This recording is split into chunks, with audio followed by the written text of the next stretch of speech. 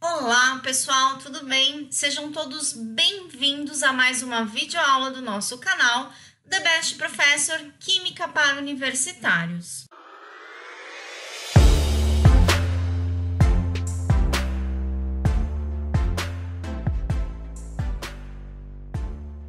A nossa aula de hoje, na realidade, vai ser um exercício resolvido que envolve o conceito de média, desvio padrão e coeficientes de variação.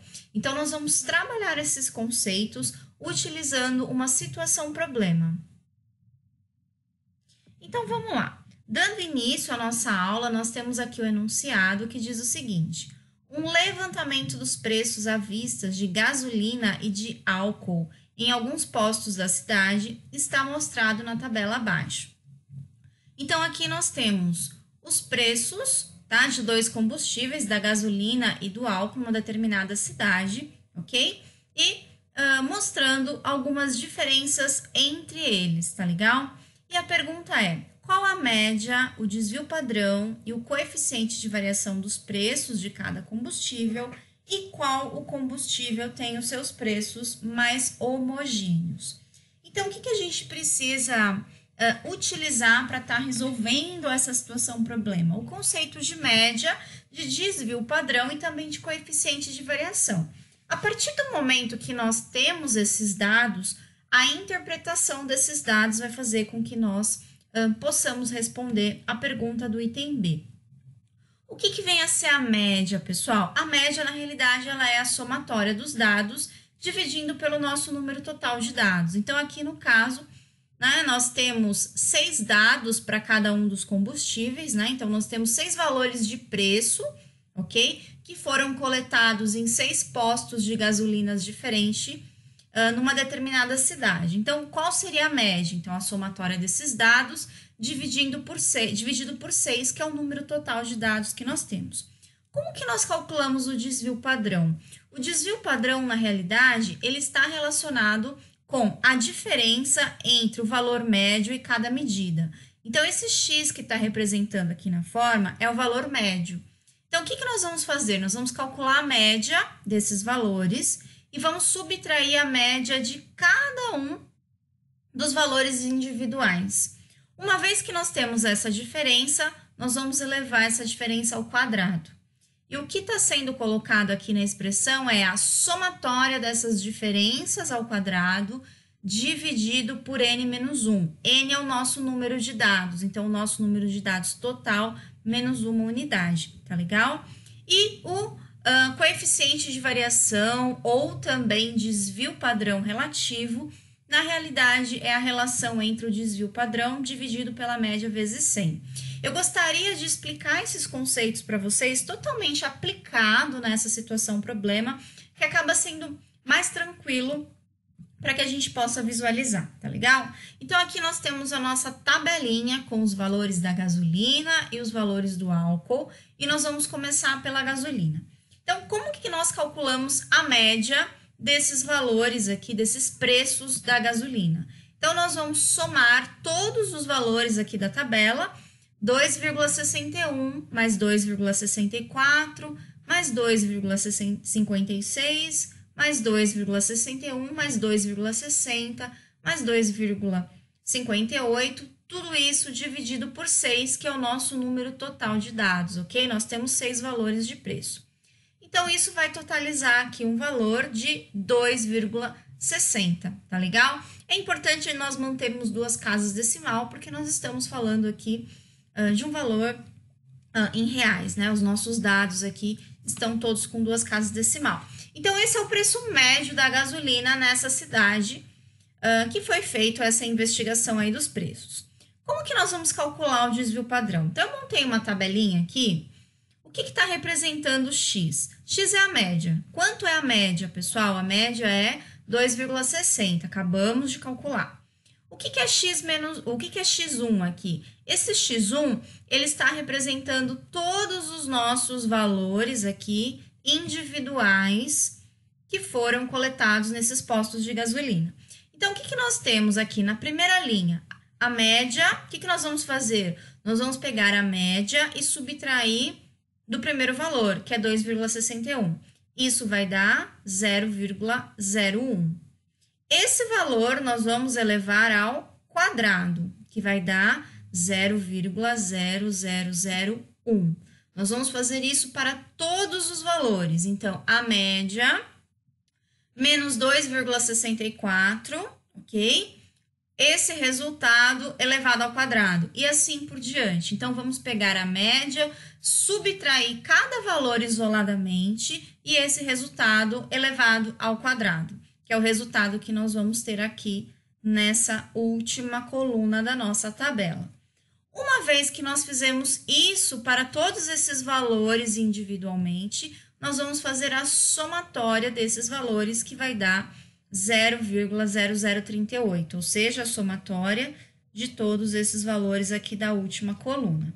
Uma vez que nós temos esses dados em mãos, o que, que nós vamos fazer? Vamos uh, calcular o desvio padrão. Então, quanto é o desvio padrão? Vai ser essa somatória, que é 0,038, dividido pelo número de dados menos 1, ou seja, 6 menos 1, dividido por 5. Então, o desvio padrão vai ser igual a 0,028, tá legal?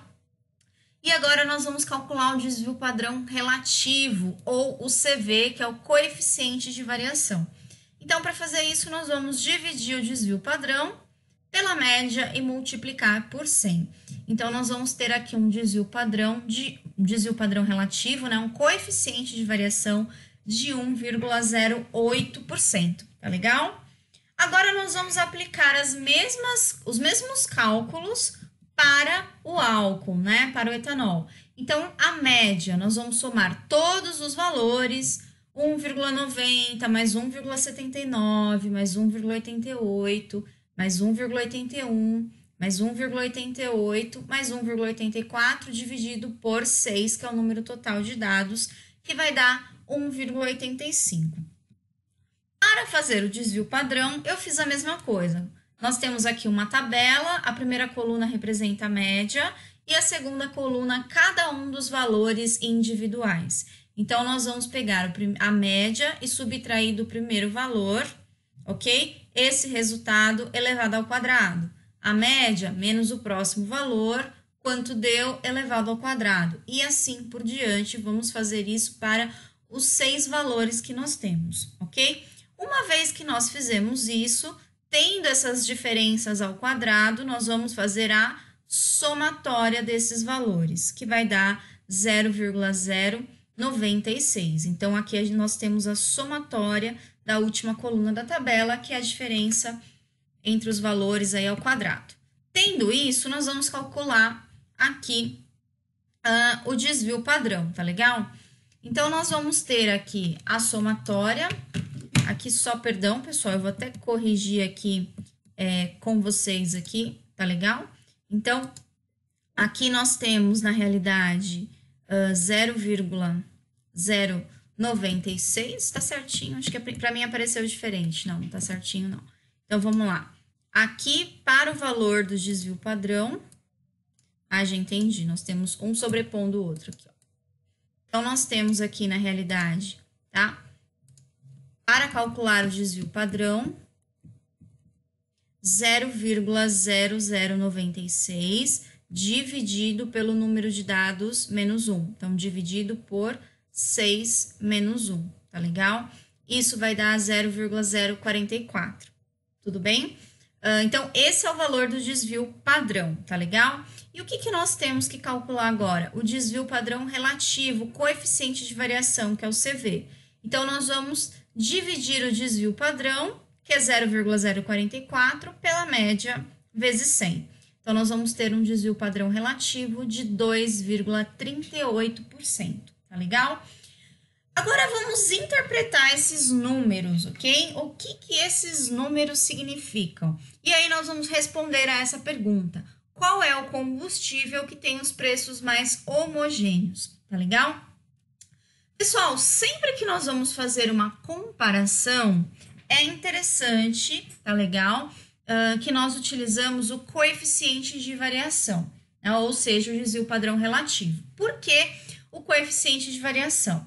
Nesse caso, nós temos uma média de 2,60 para gasolina e de 1,85 para o etanol. Então, esses são os valores dos preços. Esse é o preço médio para esses combustíveis na cidade que foi investigado.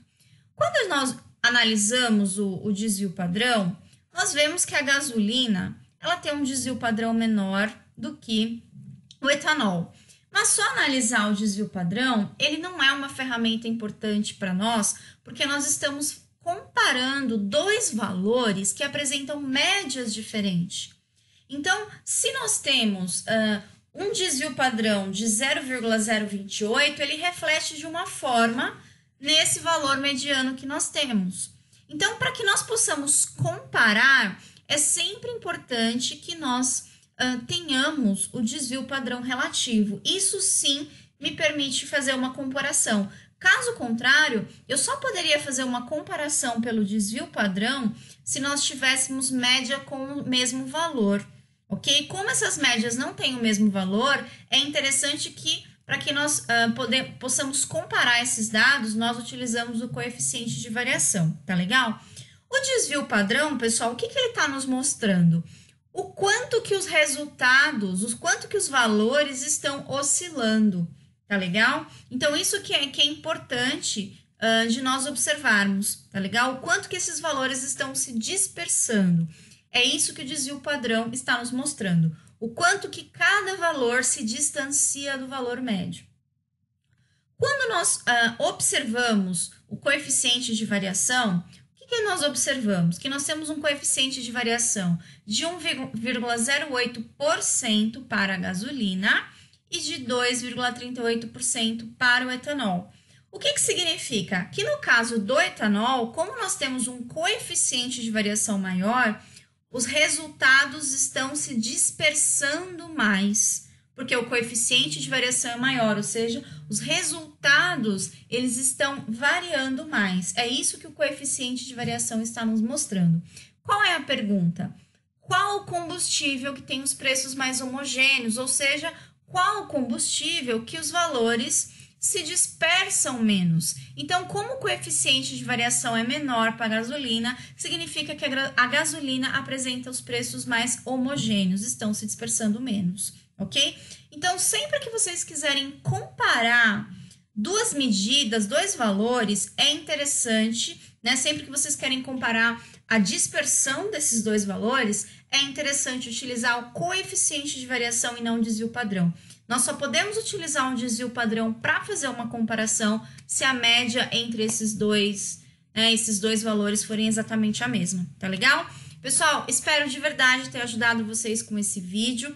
Aproveito esse momento para falar um pouquinho do nosso e-book. Saiba como aprender mais estudando menos. É um material uh, que foi construído com base uh, no conhecimento de neurociências, de modo a ajudar vocês a atingir realmente um aprendizado significativo no qual vocês possam é, estudar menos, mas de uma maneira muito mais proveitosa, tá bom? Esse material ele é totalmente gratuito, ele está disponível no nosso site www.thebestprofessor.com.br barra ebook tracinho gratuito, ok? Vocês podem baixar o material gratuitamente. Se vocês tiverem dúvidas, deixem as dúvidas de vocês na forma de comentários. Se você gostou desse vídeo, deixa um joinha pra gente saber, isso é super importante.